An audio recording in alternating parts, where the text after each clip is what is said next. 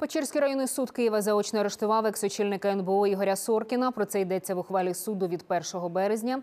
Запобіжний захід отримання під вартою. Генпрокуратура розслідує факти привласнення коштів НБУ посадовцями самого Нацбанку та Реалбанку. Йдеться про більш ніж сім- 780 мільйонів гривень.